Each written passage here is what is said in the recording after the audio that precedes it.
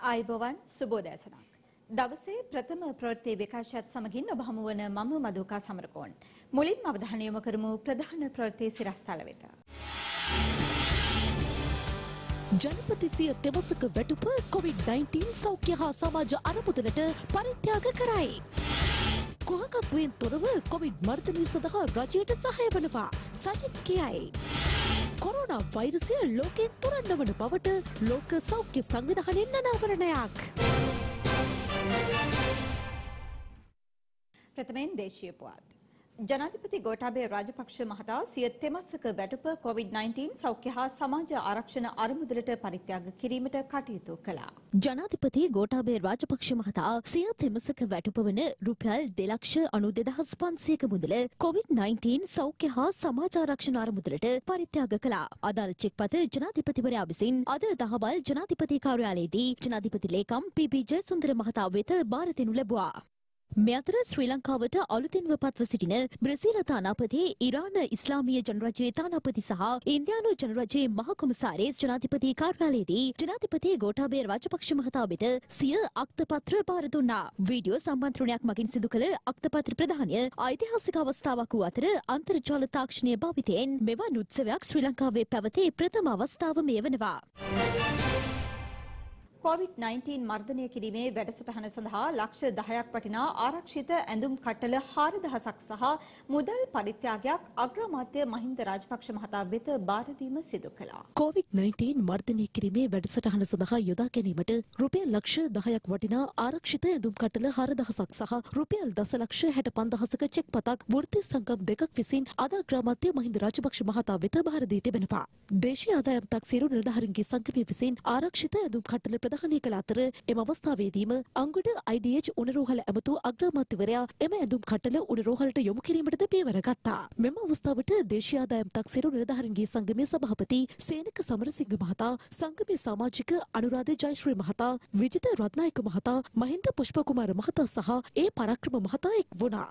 ශ්‍රී ලංකා පොදුජන ඉංජිනේරු පෙරමුණේ සමාජිකත්වයේ දරන විවිධ ආයතනවල සභාපති ධූර සහ අධ්‍යක්ෂ ධූර දරන ඉංජිනේරුවරුන් විසින්ද COVID-19 සමාජ ආරක්ෂණ අරමුදලට බැරි කිරීම සඳහා රුපියල් දසලක්ෂ 65ක චෙක් පතක් බාර දුන් අතර මෙම අවස්ථාවට විදුලි බල මණ්ඩලයේ සභාපති විජිත හේරත් මහතා නාගරික සංවර්ධන අමාත්‍යාංශයේ නාගරික ලේකම් රංජිත් දිසානායක මහතා නෙමිකෝ ආයතනයේ සභාපති ඉංජිනේරු භාග්‍ය ජයතිලක මහතා මෙම අවස්ථාවට එක් වුණා.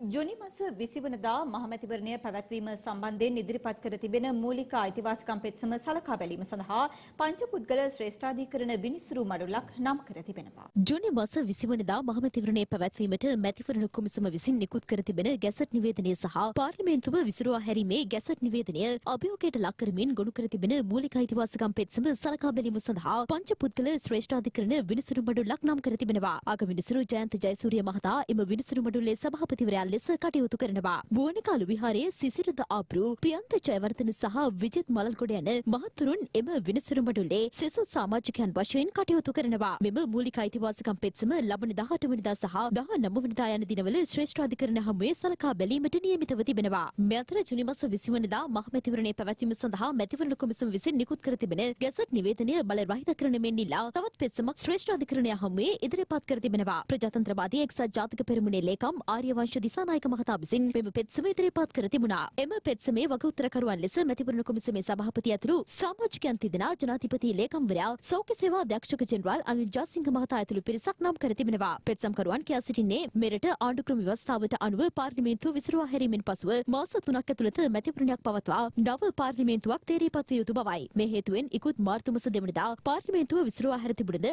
මාස තුනක් ඇතුළත මැතිවරණයක් පැවැත්වීමට නොහැකි වීම නිසා පාර්ලිමේන්තුව විසිරුවා හැරීමේ තීරණයද බල විවාහිත වන බවයි පෙත්සම්කරුවන් පෙන්වා දෙන්නේ. එමෙන්ම රට පුරා COVID-19 වසංගතය තවමත් පැතිර යමින් පවතින හේයින් මෙම අවස්ථාව මැතිවරණයක් පැවැත්වීමට සුදුසු නොවන බවද පෙත්සම්කරුවන් පෙන්වා දෙනවා. එබැවින් ජුනි මාස 20 වෙනිදා මැතිවරණයක් පැවැත්වීමේ අරමුණෙන් මැතිවරණ කොමිසම විසින් නිකුත් කර ඇති ගැසට් නිවේදනය සහ ජනාධිපතිවරයා විසින් පාර්ලිමේන්තුව විසිරුවා හැරීමේ ගැසට් නිවේදනය බල රහිත කිරීමේ නියෝගයක් ලබා දෙන ලෙස ශ්‍රේෂ්ඨ අධිකරණයෙන් ඉල්ලා තිබෙනවා. කුහකත්වයෙන් තොරව කොවිඩ් මර්ධනය සඳහා රජයට සහාය ලබා දෙන බව සමගී ජනබලවේගයේ නායක සජිත් ප්‍රේමදාස මහතා පවසනවා.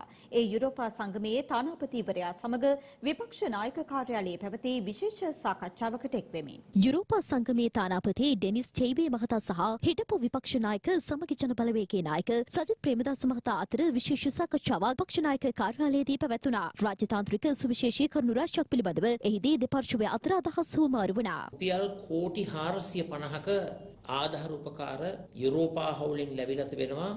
විශේෂෙන්ම සෞඛ්‍යංශයේ උපකරණ ලබා ගැනීමටත් ඒ වගේම සංචාරකංශයට ආධාර ලබා දීමටත් ඒ වගේම කෘෂිකර්මාන්ත ශේෂ්ත්‍රයට ආධාර ලබා දීමට. අපි සංඛ්‍යාලේඛනාත්මකව බැලුවොත් සෞඛ්‍යංශයට කෝටි 41කුත් සංචාරකංශයට කෝටි 71කුත් ඒ වගේම කෘෂිකර්මාන්ත ශාස්ත්‍රයට කෝටි 337කත් ණය නොවේයි ආධාර මේ වන විට ලැබිලා තිබෙනවා. අපි ඉල්ලීමක් කරා සුළු හා මධ්‍යම පරිමාණයේ කර්මාන්තකරුවන්ගේ මූල්‍ය ද්‍රවශීලීත්වය වැඩි දියුණු කර ගැනීමට ඒ මූල්‍ය ආධාර ලබා දෙන්නටයි කියලා. අපි ඉල්ලීමක් කරා යුරෝපා හවුලේ රටවල් වලින් විශේෂයෙන්ම අපේ රටේ කර්මාන්තශාලාවල සේවය කරන සේවක මහත් මහත්මීන්ගේ වැටුප් සඳහා අපේ රටට මූල්‍ය ආධාරයක් ලබා දෙන්නටයි කියලා වැටුප් සඳහා. මම ඉල්ලීමක් කරා චෛවි මැතිතුමාගෙන් යුරෝපා හවුල නියෝජනය කරන තානාපතිවරයා හැටියට අපේ රට වෙනුවෙන් වැඩි වැඩියෙන් ආධාර ලබා දීලා ඒ ආධාර අපේ රටේ කර්මාන්ත පද්ධතියට යොමු කරලා ඒ තුලින් අපේ රට තුල ආර්ථික පුනර්ජීවයක් උදා කරන්නට ඉල්ලීමක් කරා. මේ හැම දෙයක්ම කරන්නේ කුහකකමකින් තොරව දේශපාලනීකරණයකින් තොරව රට ගොඩනැගීමේ ප්‍රඥයට ශක්තිය ලබා දීමයි. රටට පක්ෂපාතීව අපි උපරිම සේවා විශ්ට කරනවා. මෙරට පෞද්ගලික අංශයේ සේවකයන්ගේ රැකියා අහිමි කිරීමට ඉඩ නොතබන බව සම කැබිනට් මාධ්‍ය ප්‍රකාශක අමාත්‍ය බඳුල ගුණවර්ධන මහතා පවසනවා. එමෙන්ම විදේශ රටවලින් සිදු කරන ආනයන තහනම් කිරීමට හා සීමා කිරීමට සිදුවන බවත් අමාත්‍යවරයා කැබිනට් තීරණ දැනුම් දීමේ මාධ්‍ය හමුවට එක්වෙමින් වැඩිදුරටත් ප්‍රකාශ කර සිටියා. ගරු අග්‍රාමාත්‍ය මහින්ද රාජපක්ෂ මැතිතුමා විසින් මේ ගැසට් නිවේදනය කැබිනට් මණ්ඩලයට ඉදිරිපත් කරනු ලැබුවා. ආනයන අපනයන පාලන පනතේ විධිවිධාන ප්‍රකාරව ලංකාවට ආනයනය කරනු ලබන භාණ්ඩ විශාල වශයෙන් තහනම් කිරීම හා සීමා කිරීමට අදාළ වෙන ගැසට් නිවේදනය ඉදිරිපත් කළ ඒ පිළිබඳ සාකච්ඡා කර. අණ්ඩ හා සේවාවන් පිටරටින් ගෙන්නන්න විදේශ විනිමය නැත්තම් රට සල්ලි අවශ්‍ය. ඩොලර් පවුන්ඩ් ඩොයිස්මාක් ප්‍රංශ බැංක් ජපන් යෙන් වැනි විදේශ විවාර මුදල් වර්ග ශ්‍රී ලංකාවේ මුද්‍රණය කරන්න බෑ. ඒ සඳහා අපි අවශ්‍යයෙන්ම ආදායම් උපදවා ගත යුතු වෙනවා. රට ඇතුළට ගලා එන විදේශ විවාර මුදල් අඩු වෙලා තියෙනවා. එතකොට අපි කවුරුත් පිළිගන්න වෙනවා. රටින් පිටට සුපුරුදු පරිදි මුදල් ගලා යාමට දෙන්න මුදල් ප්‍රමාණය බැංකු ක්‍රමයේ සතු නැහැ. සංචිත කඩාවැටලා තියෙන තත්වයක් තුළ අපි කැමති වුණත් අකමැති වුණත් ආනයන තානම් කරන්නට හා සීමා කරන්න සිද්ධ වෙන බව මම වගකීමෙන් පැහැදිලි කරන්නට කැමති වෙනවා. ඒ නිසා මෝටර් වාහන, සුඛෝපභෝගී වාහන ආනයනය කිරීම සම්පූර්ණයෙන් තානම් කරලා තියෙනවා. නමුත් අත්‍යවශ්‍ය පරිභෝජන භාණ්ඩ කිසිම තහනමක් නැහැ. සමහර භාණ්ඩ සඳහා අත්‍යවශ්‍ය නොවන එහෙත් අවශ්‍ය භාණ්ඩ ආනයනය කිරීමේදී මේ ඇතිවෙලා තියෙන ද්‍රවශීලතා ප්‍රශ්නය නිසා ආනයනකරුවන්ට කියලා තියෙනවා තමන්ගේ සැපියුම් කරුවන් සමග සාකච්ඡා කරලා දින 180කට පස්සේ මුදල් ගෙවන්නම් කියලා. දින 90ක් 180කට පස්සේ මුදල් ගෙවීමේ එකඟතාවයේ මත භාණ්ඩ ගෙන්න ගන්න පුළුවන් නම් ඒ සඳහා විශේෂ අවසරයක් ලබා දෙනවා. එතකොට විවෘත කරනකොට ප්‍රශ්නයක් ඇති වෙනවා මේ ලක්ෂ සංඛ්‍යාත සේවක පිරිසකට කර්මාන්තයේ වසා දමා තිබියදී වැටුප් ගෙවන්නේ කොහොමද? ව්‍යාපාරේ නැත්තම් වැටුප් ගෙවන්නේ කොහොමද? ලේසි ක්‍රමය වෙන්නේ කර්මාන්තයේ වැවුව වැටුප් නෑ ගෙදර යන්න කියලා කියන එක තමයි බටහිර බොහෝ රටවල තියෙන ක්‍රමවේද. ඒ නිසා ඉන පතාම් දීර්ඝ සාකච්ඡාවට ගණනාවක් ලංකාවේ හාම්පුතුන් සමග කර්මාන්ත ශාලා ව්‍යාපාර හිමියන් සමග ව්‍යවසායකයන්ගේ නායකයන් සමග සාකච්ඡා පවත්වලා තියෙනවා. කැබිනට් මණ්ඩලයට දිනේෂ් ගුණවර්ධන අමාත්‍යතුමා දැනුම් දුන්නා. කොයිඩ් 19 වසංගතයේ කරන කොටගෙන ඇති වූ බලපෑම් හේතුවෙන් පුද්ගලික අංශයේ කිසිදු සේවකයෙක්ගේ රැකියාව අහිමි නොකළ යුතු බව. එකඟතාවයකට පත්වෙලා තියෙන අහම් පොතුන්ගේ සංඝා. ඉදිරි මහමැතිවරණයේ පරාජය වළක්වා ගැනීමට විවිධ උපක්‍රම භාවිතා කරන බව හිටපු පාර්ලිමේන්තු මන්ත්‍රී අශෝක් අබේසිංහ මහතා පවසනවා. ඒ විපක්ෂ නායක කාර්යාලයේ පැවති මාධ්‍ය හමුවකට එක්වෙමින්. මේ මත්පැන් හල් විරුද්ධ කිරීමට ඇයි එච්චර අවස්ථාවක්? මේ වෙසක් සතිය. වෙසක් සතියේ පන්සල් ටික වහලා මත්පැන් හල් ටික අරගෙන. මොකද රජයේ ප්‍රතිපත්තිය? බෞද්ධකම ගැන කතා කරනවා. බෞද්ධ ජනතාව ගැන කතා කරනවා. එහෙම කතා කරලා වෙසක් සතියේ පන්සල් ටික වහලා ගෙදර ඉඳන් වෙසක් සතිය සමරන්න කියලා ඊයේ බාර් ටික ඇරලා රටේ ජනතාව නැවතත් කොවිඩ් වසංගතයට යොමු කිරීමටද වැඩපිළිවෙල සකස් කරලා තියෙනවා. දැන් රටේ හදන්නේ මේ කොවිඩ් සමග ජනතාව ජීවත් කිරීමේ වැඩපිළිවෙල. ඒකින්ද තමයි ඉදිරි මැතිවරණ ඉලක්ක කරගෙන දැන් මේ වැඩපිළිවෙල සකස් කරගෙන යන්නේ. නිසා උන් දන්නවා තව ටිකක් ඉදිරියට ගියාම මැතිවරණයේ පරාජය වෙන බව මොකද ආර්ථිකය දැන් ශීඝ්‍රයෙන් පහත වැටෙමින් තියෙනවා. රටේ ආදායම එන්න එන්න අඩු වෙන තත්ත්වයක් තියෙනවා. ඒ වගේම සල්ලි අච්චු ගහනවා.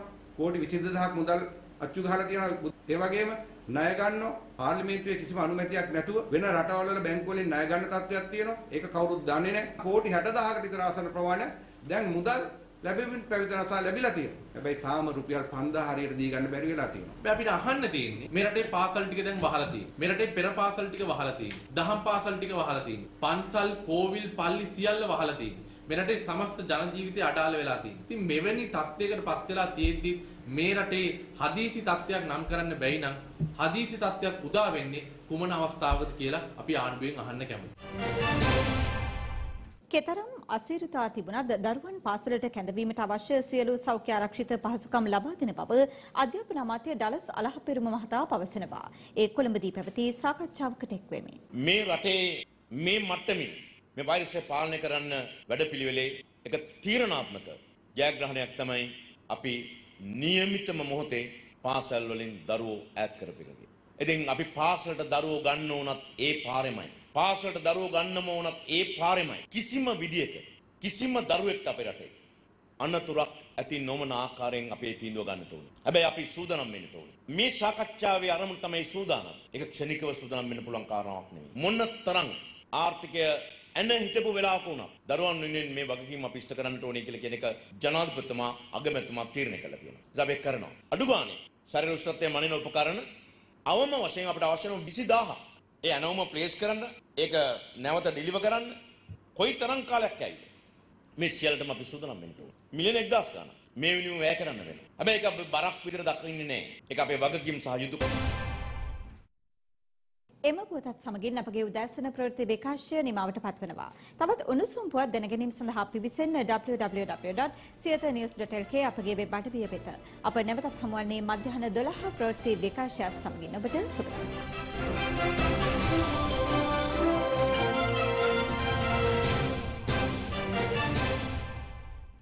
දිනපතා අලුත් වීඩියෝ සහ ප්‍රවෘත්ති නැරඹීමට ඉහත බටන එක ක්ලික් කර සියත TV සබස්ක්‍රයිබ් කරන්න.